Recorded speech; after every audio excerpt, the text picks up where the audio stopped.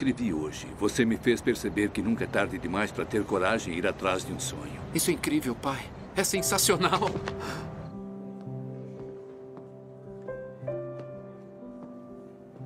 Oi, Cut. Eu, eu só queria dizer que eu sinto muito o que eu fiz no carro. E eu vou pagar o conserto. Tá tudo bem. O meu pai me tirou o carro depois que achou a minha coleção de tiaras no meu baú. E eu só queria dizer que eu espero que dê certo entre você e a Rachel. Vocês vão ter filhos lindos, bem gatinhos. Mercedes. Eu menti pra você. Eu não gosto da Rachel.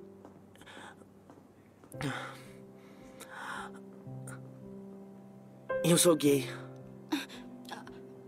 Por que você não me contou? Porque eu nunca contei isso pra ninguém.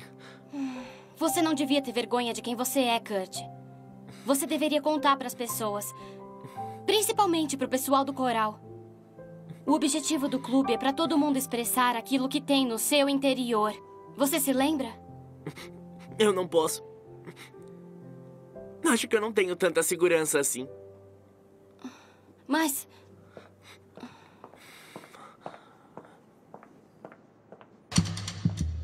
Deixa eu ver se eu entendi. O clube do coral demitiu Dakota Stanley. O Dr. Schuster voltou e eles vão ensaiar um novo número mais confiantes do que nunca. Pra baixo, palma pra cima, palma, palma. Pra baixo, palma pra cima, palma, palma. É o que chamamos de desastre total, menina. Eu vou pedir pra vocês cheirarem as axilas. Esse é o cheiro do fracasso. E está poluindo toda a minha sala. Vou cancelar os privilégios de bronzeamento pelo resto do semestre.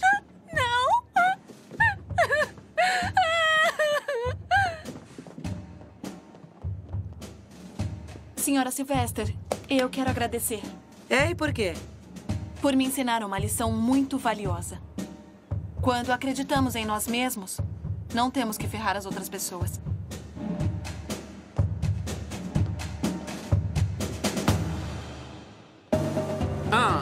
Passo pra direita e cabeça. Passo pra esquerda e cabeça.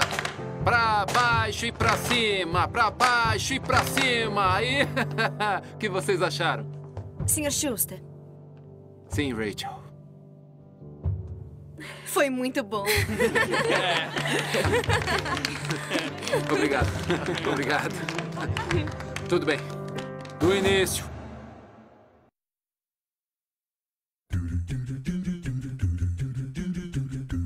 da da da da da